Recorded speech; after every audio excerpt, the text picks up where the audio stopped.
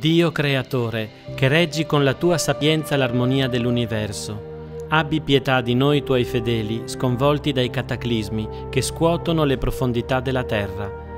Veglia sull'incolumità delle nostre famiglie, perché anche nella sventura sentiamo su di noi la tua mano di Padre e liberati dal pericolo possiamo cantare la tua lode. Per Cristo nostro Signore. Amen.